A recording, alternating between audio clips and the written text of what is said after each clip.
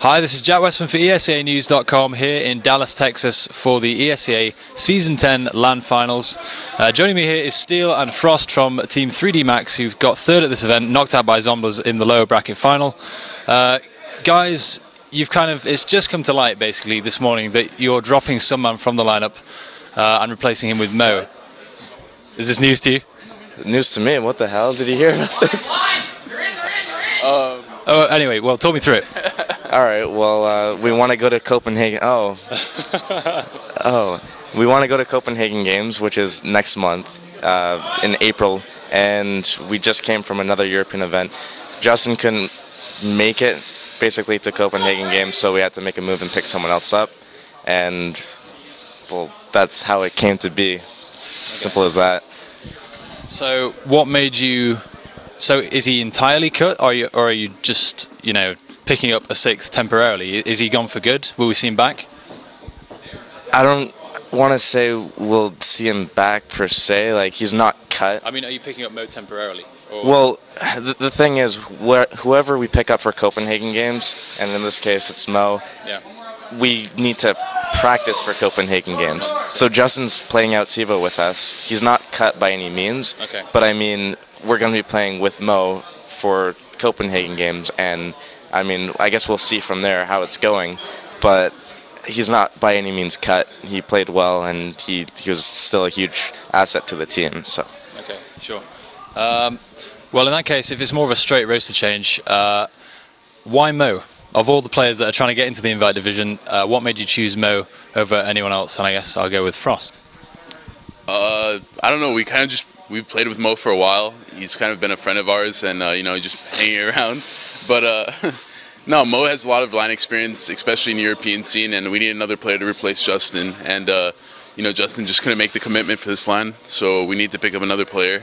And uh, Mo headed to Europe. What, what LAN was it? And he has a lot of uh, I, I can for add what? something. Go for it. All right. So basically, Mo went to I think it was Land 79, and he completely just obliterated uh, a lot of the European teams. He went with a pug squad, and they placed fourth. So he's he's played against Europeans. He knows their style. He's good against them. And basically, we liked what we had with two ops. Neil and I can basically buddy system with rifles. And the good thing about it is he's not afraid to peek players. He's not afraid to execute a strat. He's not afraid to play against teams. He's got the confidence and he's got the, um, uh, I guess, the skill necessary and well, experience, but skill necessary to take down the European teams. And I think that's what we need. Okay, sure. Uh, well, yeah, Mo definitely has one of the bigger personalities in the invite division, right?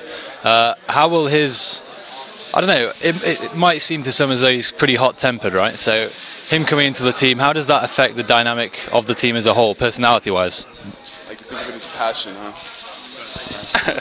Hot-headed. I would think Mo is more about you know it's more about passion for him, I guess. But uh, the way he approaches the game is uh, pretty like fearless, and it's you know a way that we kind of like and enjoy. He's not afraid to step up and make big shots, and he makes huge plays a lot of the time. And it's gonna be interesting opping with him uh, and having Neil you know step down to the or not step down, but you know switch to the rifle mostly. Uh, you know having two ops is something that's always worked for us in the past, so. Uh, it's gonna be fun getting back to that system, you know. Um, do you want to add anything to that, Josh? I think I had something to say, but I might have just forgotten it. Okay, that's okay. Um, well, last question then. How does this affect your chances uh, in the standings at Copenhagen Games? Uh, you've been to Europe a couple of times before. You know, you've third place, right? Did you get second in uh, uh, DS Rack? Okay. Um, obviously, ckraS have just folded. VeryGames have changed a few players in recent months. You, of course, dropped uh, dazed after ESWC in Paris, picked up Sunman. Now you're changing for Mo. How is this new lineup going to fare against the European teams and possibly dynamic uh, that you're going to see in Copenhagen? Well, coming from one major European event and going to another one next month, like we didn't really change our, our strats to be, um, I guess, geared towards DX95 caliber play. So I don't think this is a true um, measurement of our skill or capacity as a team.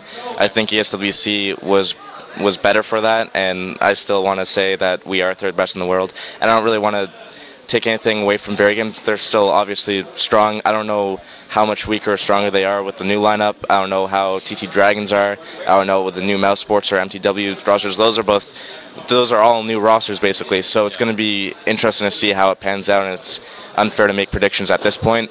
But we still have the four that we've been rolling with for quite a while, and we're going to have the um, op presence of of Mo. And I guess what I wanted to add earlier was that uh, he he only gets really he's he's hot-headed, but he only gets mad at like team mistakes. Yeah. And we as a team don't really make many mistakes. We sometimes play sloppy, but every team does. They have a bad night, they have a bad day, whatever. They have a bad LAN, but I don't think that's going to be an issue with Mo. And I really see us us making finals again at Copenhagen. Okay, sure. Uh, I actually have one more last question before we do shoutouts. Uh, you guys, you won the last ESEA LAN. Uh, obviously, Dynamic have come back this time and reclaimed the crown. Will the addition of Mo, if you keep him long term, help you against them this time next season? Uh, uh, well, if you both want to have a go. Um, having Mo would definitely uh, help us compete with the two op setup of Dynamic, and uh, you know it's just gonna be a different play style. I mean, we can't really tell what's gonna happen, but you know we're always gonna be a solid team, and uh, Dynamic's always gonna be a solid team. Um, this event, I can't really say that we played up to our usual standard. I felt like we really you know shot ourselves in the foot.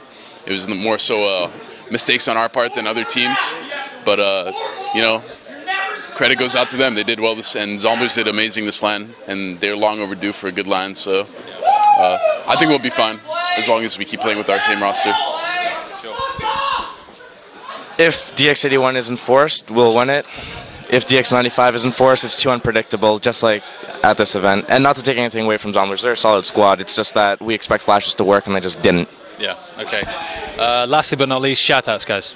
Uh, yeah, shoutouts to 3DMAX for helping us get to this LAN and for the support. Sweet jerseys. Sweet jerseys, Brian Rank Gaming, um, Home base. home base, John Michael Wilson, Right. aka Hunt. Um, any any anyone else?